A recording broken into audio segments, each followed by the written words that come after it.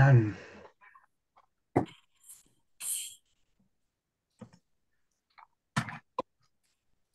you ready? Yep. Hang on to your chairs, folks. Um, no, just kidding. Just kidding.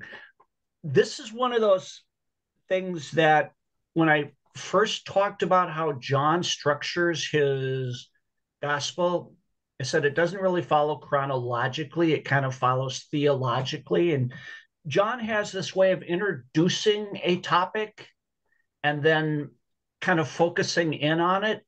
Last week, we saw that incident where he cleared the temple and had that interaction with a lot of the Jewish religious leaders.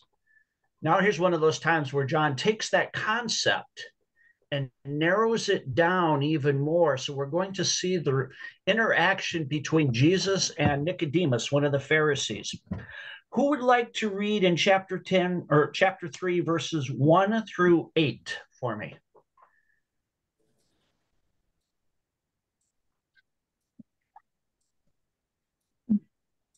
Catherine, go ahead. Okay, I'm going to read it. Now there was a man of the Pharisees named Nicodemus, a member of the Jewish ruling council. He came to Jesus at night and said, Rabbi, we know you are a teacher who has come from God, for no one could perform the miraculous signs you are doing if God were not with him.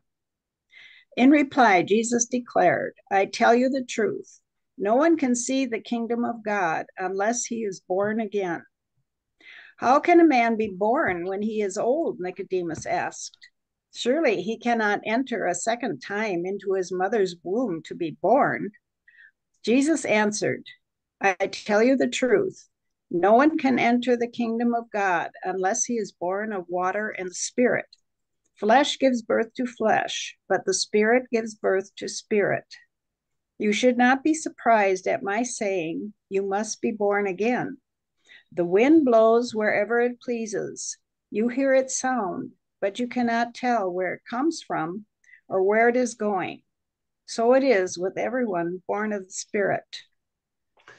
Thank you. Thank you. Um, there's so much in each one of these little sections. We're not going to spend a lot of time digging them all, but I'm going to throw a few things out at you. Number one, why would Nicodemus show up at night? Um, he didn't want to be seen by the other, you know, you know. Yeah. Peers. Yeah. and my footnotes say um, he, he he would be he wouldn't have people around him and whatever. Yep. Yep. He could talk to him person to person. Yeah. And also being secretive so his cohorts won't know that he's there.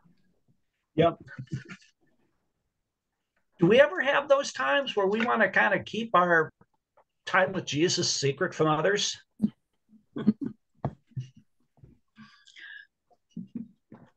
yeah. Yeah, we do. I love how he buttered Jesus up at the beginning. He's seeking, but he's also saying, Oh, we know you're a man of God because no one could do these miracles. But Jesus doesn't bite. He jumps right in and says, No one can enter the kingdom of God unless they're born again. Or another way that word is translated is born from above. So that concept of being born again or born from above. What does that mean? That whole born again thing is something that really got a bad rap in the 70s and 80s. But what does it mean to be born again? To willingly uh, receive the Spirit, I think.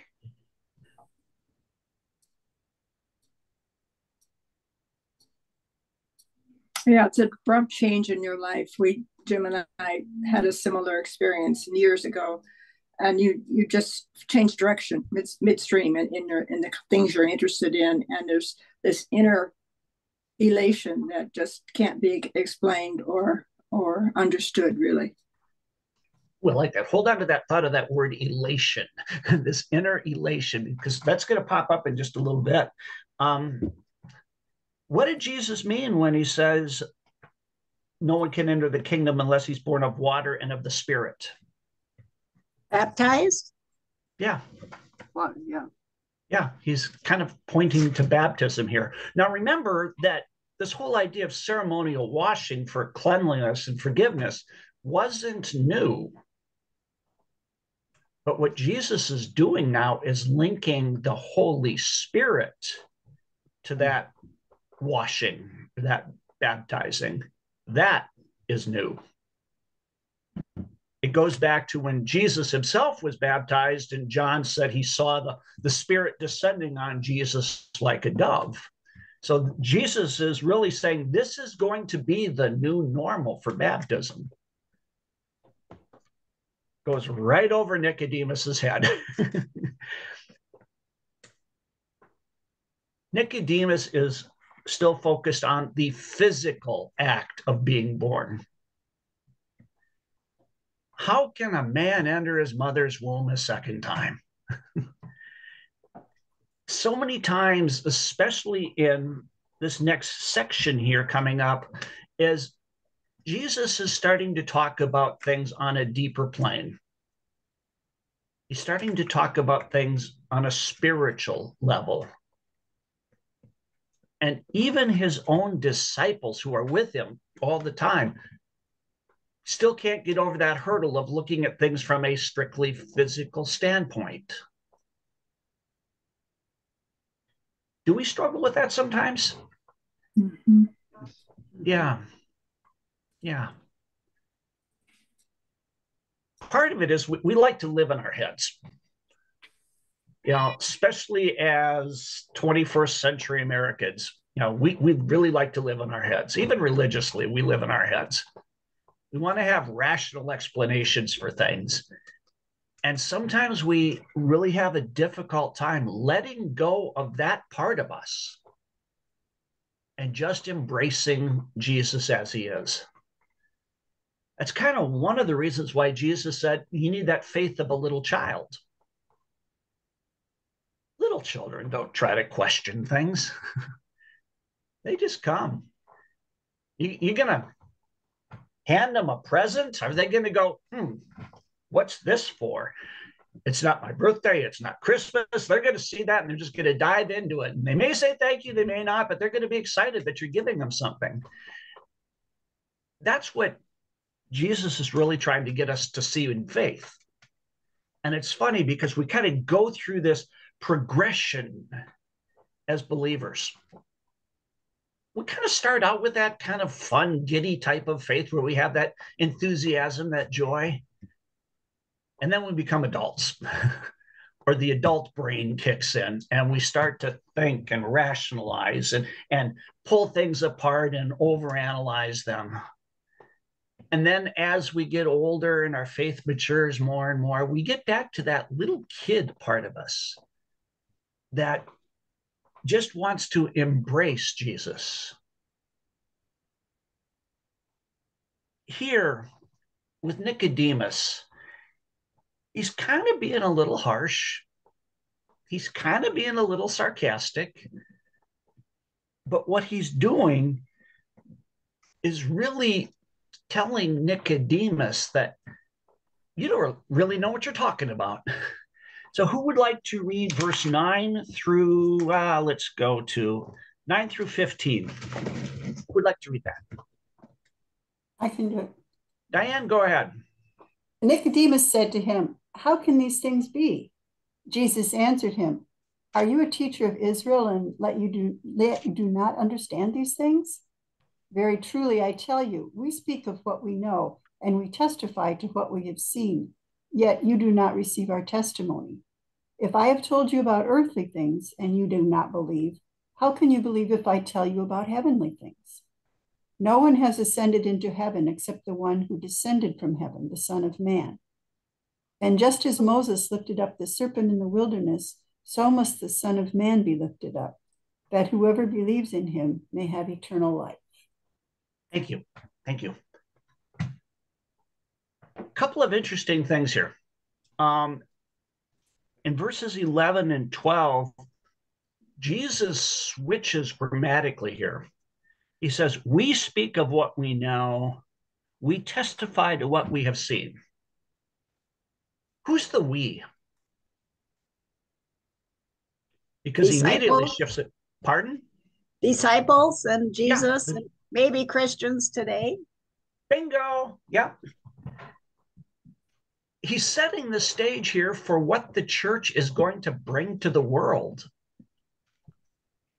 Remember, I, I said in our introductory part that John's focus of this whole gospel is really looking to Jesus laying the foundation for the church to come.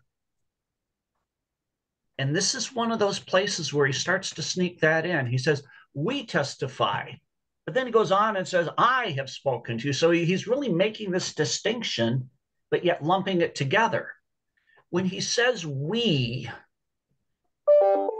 he's talking about the disciples, he's talking about the church to come, he's talking about every believer who confesses in him. I love that. But he also says, You don't, you don't believe us. so don't be surprised when people don't believe you. but he, he's setting that stage here. But then he talks about, to me, one of the most significant things in all of John's gospel. Remember at the beginning when we saw how John links us back into the Old Testament? How at the very beginning he started out in the beginning and showed how Jesus was going to be linked with creation. Powerful, powerful passage. But here he talks about the Son of Man being lifted up, just as Moses lifted up the snake in the desert. So the Son of Man must be lifted up, that everyone who believes in him may have eternal life. This is one of those incidents that I think sometimes we overlook. Here's the background to that the Israelites were going through the wilderness, they were grumbling and they were complaining. They didn't like the food. They didn't like where they were going. They didn't like Moses. They didn't like anything.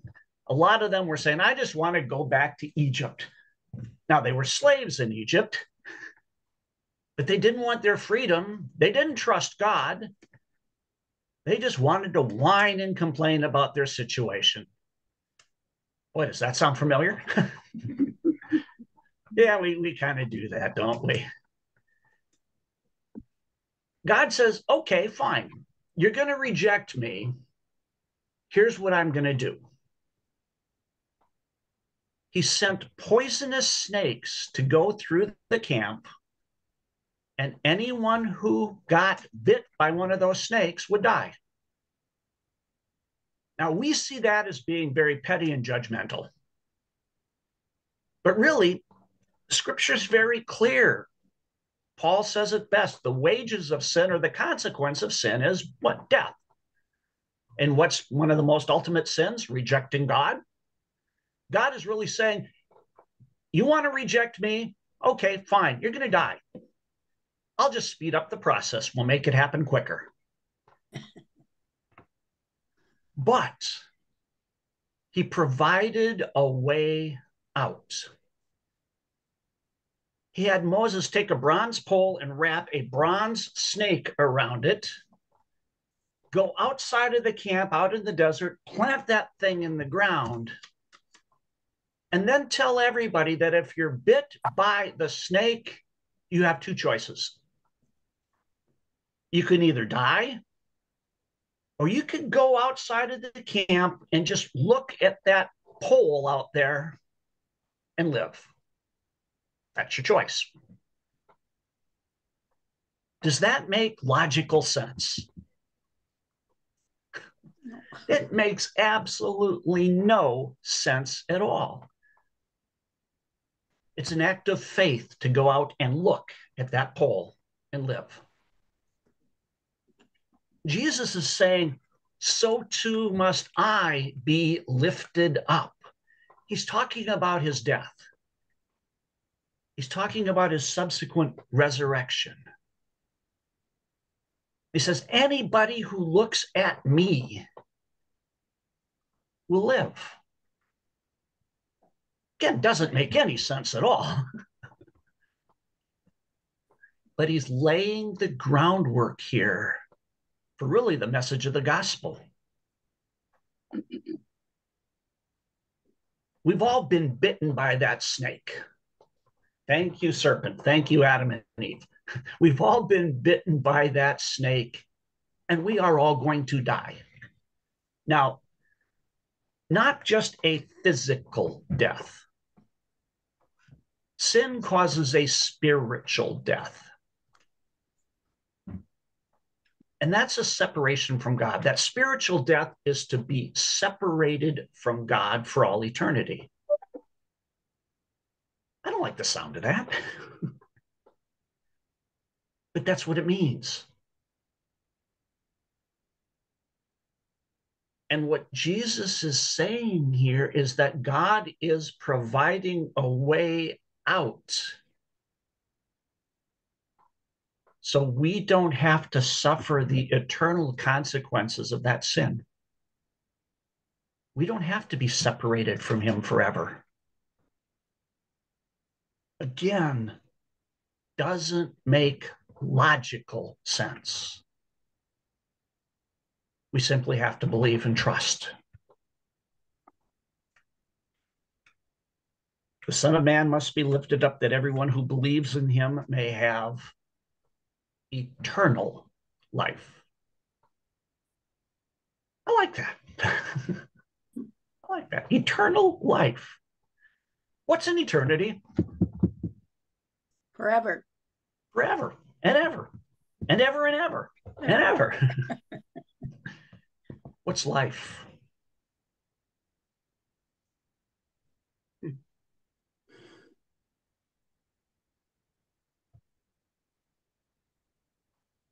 Tougher question. What's Living. life? living, breathing, having your consciousness. Yeah. Is that physical or spiritual? That's physical. Physical. It's actually both. It's actually both. It's quite literally being fully alive physically and spiritually forever and ever and ever and ever and ever and ever and ever. When does eternal life begin? Another good question. When you physically die, No. When you're born. huh. I'll just say when you believe. When you Bingo! believe- oh. Yeah, Oh, yeah. Jesus is talking about that whole thing here when he's talking about being born again. When we come to faith, we are as spiritually alive as we will ever be. That's mind boggling. but it's also a relief because it allows us to separate the physical from the spiritual, just as Jesus is doing here. So often we get so wrapped up in the physical side of life that we forget that there's a spiritual side as well. And especially as we get older and the end is drawing nearer and we can see that on the horizon, sometimes we get so wrapped up in the physical aspect of it. And one of the things that creeps in is this doubt and worry about what comes next. Thank you, Satan. because if we truly understand this concept of eternal life being born of the Spirit, we have no worries. Having that firmly rooted faith deep inside really should allow us to face anything that life throws our way with without the fear. Oh, sure, we're going to have our human doubt and our human worry. That's just part of being human. But it shouldn't shake us to the core. And when it does rattle us deep inside, it gives us something to hang on to to pull ourselves back up out of that pit. Doesn't mean we're not going to go down that pit. That's, again, part of the human experience. But what it offers is a way out. It gives us hope. It gives us that joy, that enthusiasm deep inside. With me so far? Yes. Okay. Who would like to read verse 16 through 21? I can. Susan? Susan was waving her hand there. For God so loved the world that he gave his only Son, that whoever believes in him should not perish, but have eternal life. For God sent the Son into the world not to condemn the world, but that the world might be saved through him. He who believes in him is not condemned. He who does not believe is condemned already, because he has not believed in the name of the only Son of God. How far do you want me to go? 21? Yeah, And- through 21. And this is the judgment that the light has come into the world, and men love darkness rather than light, because their deeds were evil. For everyone who does evil hates the light, and does not come to the light, lest, lest his deeds should be exposed. But he who does what is true comes to the light, that it may be clearly seen that his deeds have been wrought in God. Thank you. Thank you. What does all that mean? In a nutshell, what does that mean?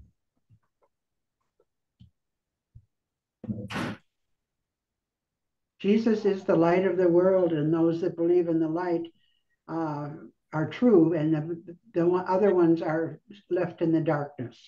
They do are just in the darkness, and they have they're condemned.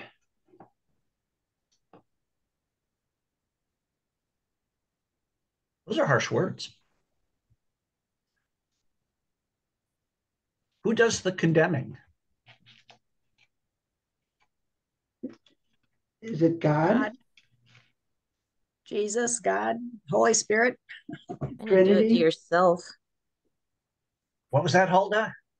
Said you do it to yourself. Yes. Yes. Oh, That's the part of this passage that people forget. God didn't send his son into the world to condemn the world, but to save it. Mhm. People condemn themselves by simply unbelief, rejecting the light. We talked about that early on when John was talking about, John the Baptist was talking about the light has come into the world. We talked about all those things that light does. It allows us to see, it allows us to grow, it illuminates our path, all of those things. When we reject that light of God that's come into the world, we're rejecting God. And just as we saw in that explanation of the snake in the wilderness, rejecting God is what? Sin. sin, And Yeah. sin leads to death, yeah. not just physical, but spiritual, spiritual death. spiritual death. And we have nobody to blame but ourselves.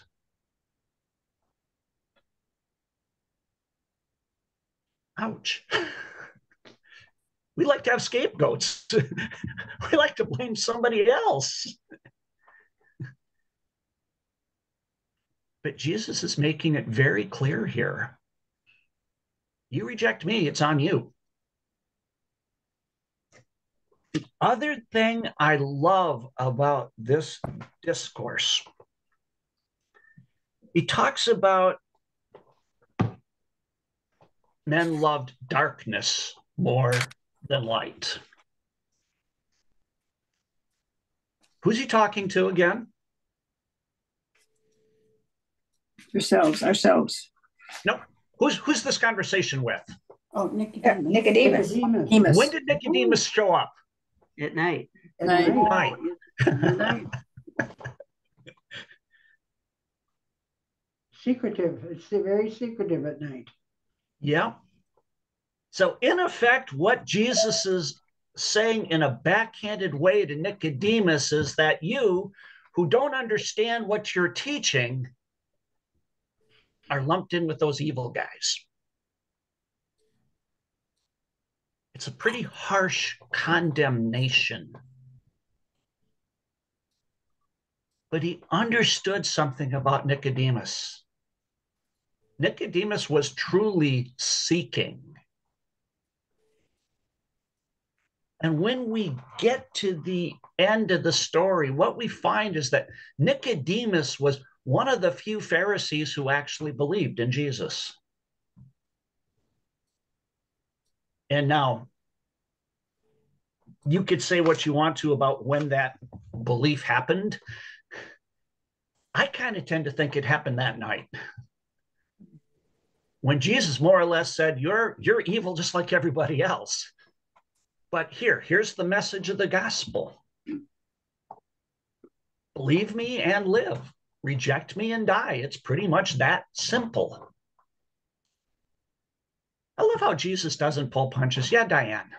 I was just going to say, um, in, a sermon a couple of weeks ago, Lindsay Freeman preached about Nicodemus. We had this text, and she said that he he actually appeared at the foot of the cross. Yep. And and he brought um, oils for anointing, and she said um, he probably would have had to stockpile those because they were so rare and so expensive that he couldn't have just gone out and gotten them on Saturday or Friday, whatever day it was. And so that he must have been making preparations. He must have understood what was coming Yeah. and making preparations. I thought that was really cool. And I had never heard that about Nicodemus before. I think it's fascinating. It truly is. But what I really love is it shows the impact that Jesus can have on a life. A life that started out doubting and questioning, a life that had been looking for the Messiah, had one understanding of what the Messiah was. And now you're suddenly having your spiritual blinders removed and your heart opened up, and you're starting to see what Jesus is truly all about, in spite of your background, in spite of your education, in spite of what your friends and colleagues say.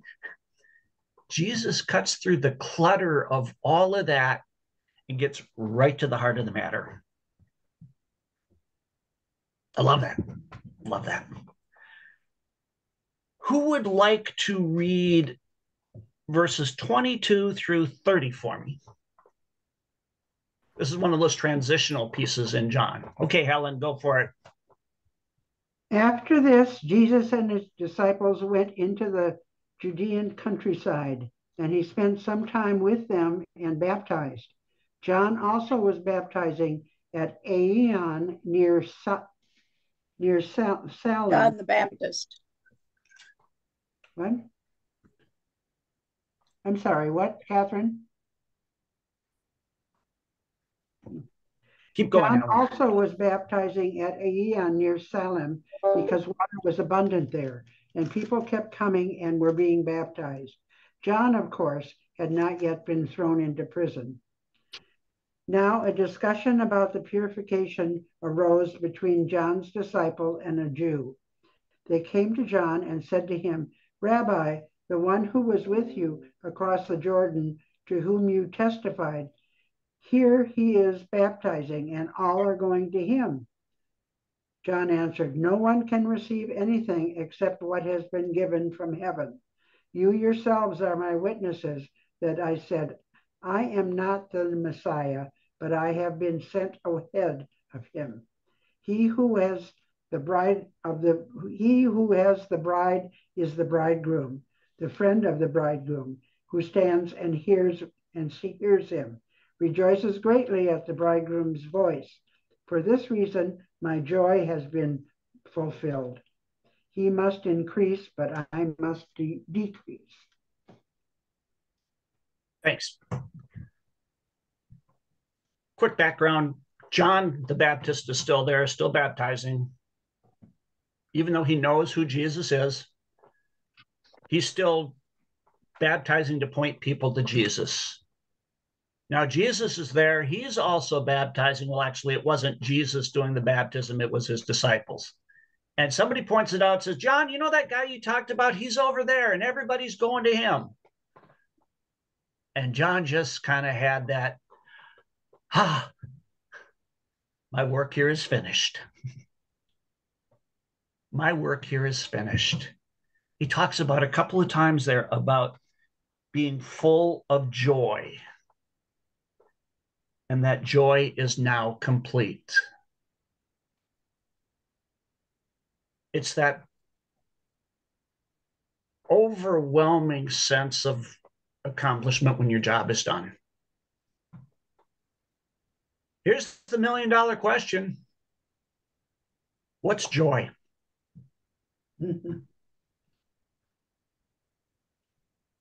Supreme happiness. Supreme happiness. I like that. I like that. Elation without doubt. Elation without doubt.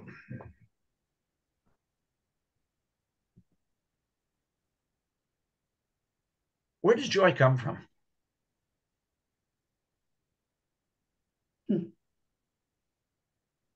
I want to say the heart. yeah. Inside, heart Inside. or soul, heart or Yeah. soul. It's not really dependent on external circumstances. There's a difference between happiness and joy. Joy really comes bubbling up. and John is saying, I have that joy because he sees that his work is done, that God has not abandoned him. God sent him out there to be the forerunner, to be the voice calling in the wilderness, prepare the way for the Lord. And he sees that and he goes, ah, it worked. They're all going to him now. There's an interesting little note that we, we miss it in our English translations. I don't often like to do this because sometimes when we pick on the Greek grammar so much that some people tend to do, um, we start to lose confidence in our English translations. But once in a while, you need to kind of pull something up to help you get the better feeling of what that word is really saying. He said, That joy is mine. It is now complete. That word complete or now complete is in the perfect tense. And what that means is that it will remain. What John is saying here is that he will have that joy forever and ever and ever and ever and ever and ever. It will remain, it won't be taken away. Even though he's going to be put in prison and die, that joy will still be there. Mm. I like that. Because it's that same joy that we get. It's that same joy that comes to us through faith. Who would like to read 31 through the end of chapter 3? Just another little short verse. Vita, go for it. He who comes from above is above all. He who is of the earth belongs to the earth, and of the earth he speaks. He who comes from heaven is above all. He bears witness to what he has seen and heard, yet no one receives his testimony. He who receives his testimony sets his seal to this, that God is true. For he whom God has sent utters the words of God, for it is not by measure that he gives the Spirit. The Father loves the Son and has given all things into his hand. He who believes in the Son has eternal life.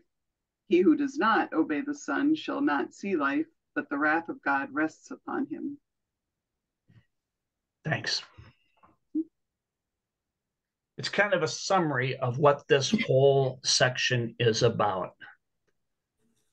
Jesus, who comes from above, is speaking the words of God. It's that whole idea of, again, being the light that illuminates for us, being that light that allows us to see God. In a nutshell, you want to know more about God, learn more about Jesus. Know Jesus, know God. Now, John is going to shift gears a little bit. Jesus is about to start a journey where he's going to have less to do with the quote unquote religious people and more to do with the people people. It's kind of like with the story of Nicodemus, he kind of plants a flag down there and says, okay, now we're going to pivot and we're going to go down another road. We're just going to start touching on this encounter with a Samaritan woman because for me, that's probably the second most powerful encounter that Jesus had, apart from the one with Nicodemus. There's so much depth to it that we're not even going to be able to begin to touch on it this week, but I want us to start to get into it to get the background so we have some time to have the juices flowing for next time. Who would like to read verses four through six for me? Marilyn? Yeah, okay, so four, one through six? Yes. Okay. When therefore the Lord knew that the Pharisees had heard that Jesus was making and baptizing more disciples than John, although Jesus himself was not baptizing, but his disciples were, he left Judea and departed again into Galilee, and he had to pass through Samaria. So he came to a city of Samaria called Sychar, near the parcel of ground that Jacob gave to his son Joseph. And Jacob's well was there. Jesus, therefore, being wearied from his journey, was sitting thus by the well. It was about the sixth hour. Thanks. Or noon, heat of the day. Um, why would Jesus leave? Word's gotten out to the Pharisees that Jesus is baptizing and gaining disciples. Why would he leave?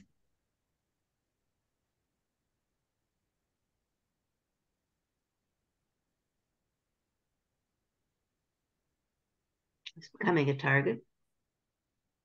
Pardon? He's becoming a target. Becoming a target? It says in my footnotes his a mission. It was his mission, starting his mission. Yep. And it wasn't to stay there, it was to go somewhere else, I guess. Yep. And to avoid the opposition of the Pharisees, my footnote says. Yeah, mine too. It says that they were hostile to John, and I'm guess guessing that might have been John the Baptist, and then Yep. now they're now they're turning on Jesus. Yep. Yeah. And there will come a time when they're going to turn on him. In fact, he's going to spend some time poking them enough that they not only turn on him, but they kill him. Mhm. But it's not time for that yet. Right. And rather than waste time and energy on a confrontation that's going to happen later down the road, Jesus simply says, Okay, we're out of here. Yeah, Helen. Is, is he going alone into Samaria? Did he leave his disciples behind to baptize? Nope. The, the disciples are with him. Okay. They say that it, they went into town to get food. Yep. They left to go get food. But To me, there's an absolute beautiful, beautiful little statement in here. Now, he had to go through Samaria. Oh, He had to go through Samaria. Here's the fun part no God fearing Jew would travel through Samaria. When you were going from Jerusalem to Galilee or Galilee to Jerusalem, there's two routes that the Jews would take. One was to go to the shore of the Mediterranean and follow that coastline up and over. The other was to follow the Jordan River through the mountains and everything. Both of those paths were harder and took longer. The shortest route was to go directly through north and south, directly through this region called Samaria. And the Jews would not go there because those people lived there. Yeah. They were very prejudiced against them. They were incredibly prejudiced against them.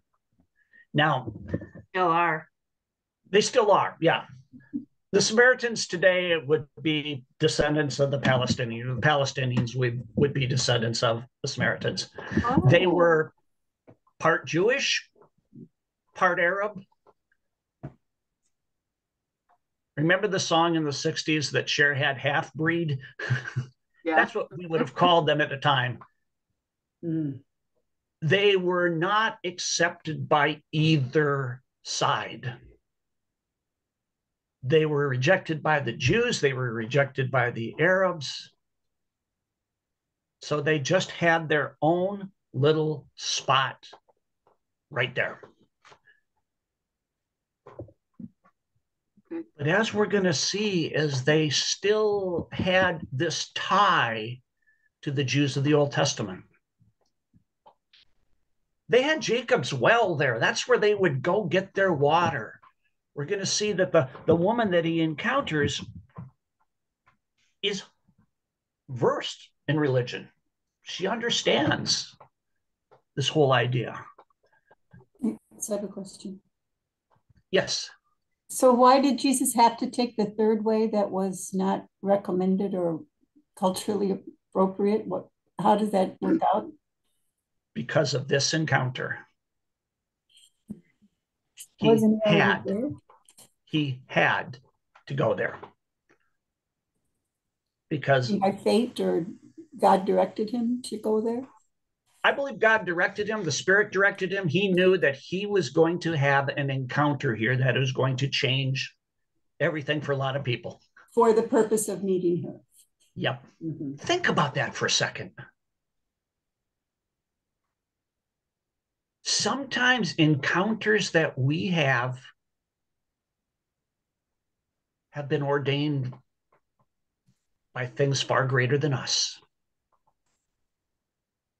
God will put people in our path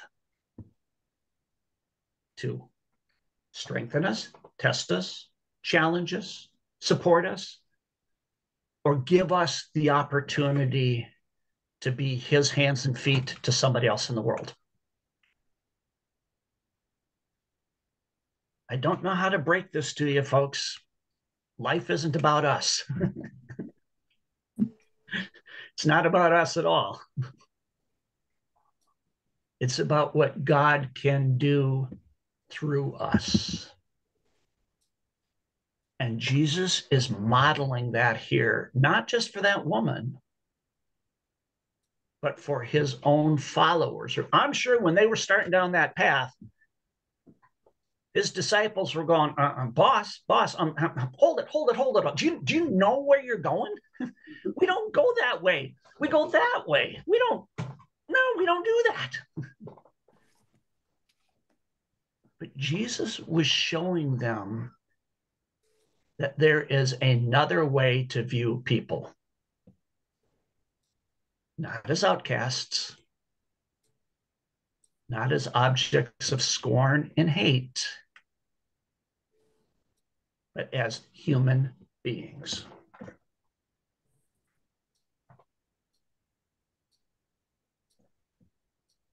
I'm not going to expand on this much, but I want you to I want you to think about this before we go. It's noon. The heat of the day. Jesus is sitting at the well and a woman shows up to draw water.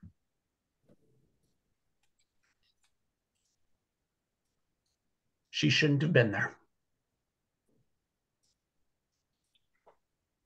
Drawing water was a cultural, it was a social event. All the women of the town would have gathered in the morning. They would have been sharing stories, talking about, you know, the kids, what, you know, what are you having for dinner tonight? All and helping each other fill their jars, all while they were just interacting. But this woman wasn't part of that. The Samaritans themselves were outcast. She is an outcast amongst outcasts. And Jesus had to go so he could have this encounter. Hmm. It's really interesting how um, he picks, you know, always the person who's usually the least heard, you know, like a blind beggar last mm-hmm. week. And and this woman who, you know, has no standing in the community. Um, we had uh, somebody filling in for Catherine uh, a week ago Sunday, and this and this reading, and and then we did gospel based discipleship on it the other day. Um, said that the I did not realize this. Likely, the reason this woman had five husbands is because they would have divorced her because she didn't have children. And I thought it was always it's presented as her moral failing that she's had five husbands, and or at least that's what I feel like we're supposed to infer. But it's interesting that no, wait, she she likely didn't cause her status in this community by her own actions. And so Jesus is going to speak to all of the Samaritans through her. I just find yep. that fascinating. But she also embraced that status by not even bother bothering to marry mm-hmm. the person she was with now. Yeah, I think she gave up. She gave up. Yeah. Bingo. She gave up, but she was still looking for something but she just simply gave up and gave in to the pressures of her society to say, okay, you think I'm a tramp, I'll act like one. There is so much to that, but I want to leave us with this question Who are our Samaritans? Who are the people in our world that we go out of our way to avoid, that we judge, that we want nothing to do with, and who our friends and families would not understand if we had anything to do with them. Don't answer. Not, not yet, but just think about that and ponder that because that's going to play into how we react to this encounter. But that's all I got. I had a question. If Just the, away. If the the Jewish people um, despised or whatever the Samaritans, how did the Samaritans feel about the Jewish people? Kind of that same thing. They they have been hostile toward Jewish people traveling through Samaria. Well, first of all, that wouldn't have happened. Very few would have traveled through there. I don't think it would be hostile. I think it would have been more avoidance. They weren't going to go out of their way to attack a, a group of Jewish people traveling through, mm-hmm. but they weren't going to go out of their way and offer hospitality either, which again is totally against the culture. This was a very hospitable culture but when you reject people simply because of who they are, are they really going to be so excited to have you over for dinner? No. no, no, which we can learn from that, by the way. But that's a whole nother discussion. I'm going to shut up now. You guys will have to listen to me on Sunday because I'm preaching. So, um, Okay. Thank you. Thank you You're so welcome. much. Thanks, We'll see you Basil.